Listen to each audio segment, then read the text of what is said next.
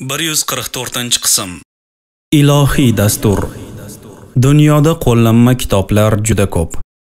Har bir konstruktor muhandis o'zi ishlab chiqargan dastgohni qanday ishlatish haqida ko'rsatmalar beradi. Shuning uchun oynai jahon, kompyuter, mashina, telefon kabilar qo'llanma kitoblari bilan sotiladi. Chunki foydalanish qoidalariga amal qilinmasa, ularni ishlatib bo'lmaydi. Oddiy bir misol, ko'rsatmaga binoan mashinaga yoqilg'i quyiladi. Benzin qimmat deb suv yoki boshqa narsa solinmaydi. Mabodo mashinaning qat'iy talabnomasiga amal qilinmasdan ha bo'laveradi deya benzin o'rniga boshqa suyuqlik quyilsa, mashina joyida taqataq to'xtaydi.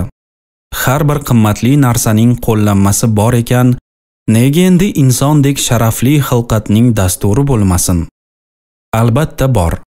Odamni tuproqdan yaratgan, unga farzand ne'matini berib, zurriyotlar bilan yer yuzini to'ldirgan Alloh taolo odamlar uchun dastur ham taqdim etgan. Payg'ambarlar yuborib, dasturini bizlarga anglatgan. Ilohiy dasturlarning eng so'nggisi Qur'oni Karimdir.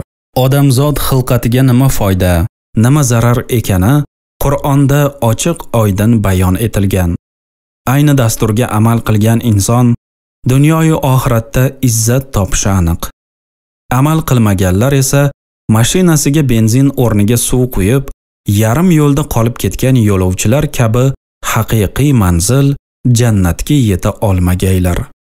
Ziyovuddin Rahimning Qur'on qalblar shifosi kitobidan